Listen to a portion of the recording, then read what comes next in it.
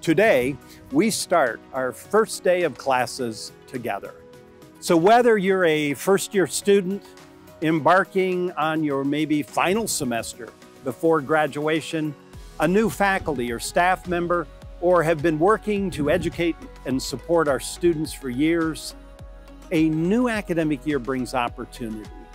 And as we begin the fall semester, I want to take a moment to reach out directly to each of you. Bowling Green State University is a comprehensive university. Each and every day, we have a mission and an opportunity to do good. And you know, it starts with our students. Your faculty and staff, we are all in. Our continued goal is to ensure that you are successful here. Pursue the possibilities. Learn with your faculty inside and outside the classroom to create and share new knowledge. BGSU is a community where you can absolutely belong. Get involved and make connections, support and engage one another. Where you are met with academic challenges, remember that you are empowered to always learn, to be curious. Now, what differentiates Bowling Green is our people and what we do. It's our faculty's teaching, research, and creative activities. It's our staff's wide ranging work which always focuses on our students.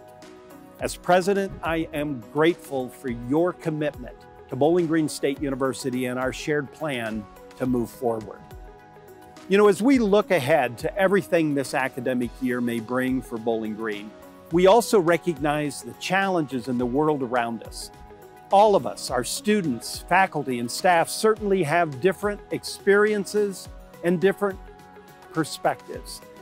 I'm reminded that uh, Reinhold Niebuhr uh, observed in the 1930s um, that, that sometimes we humans, we, we vilify those we disagree with while we have an exaggerated confidence in our own virtues.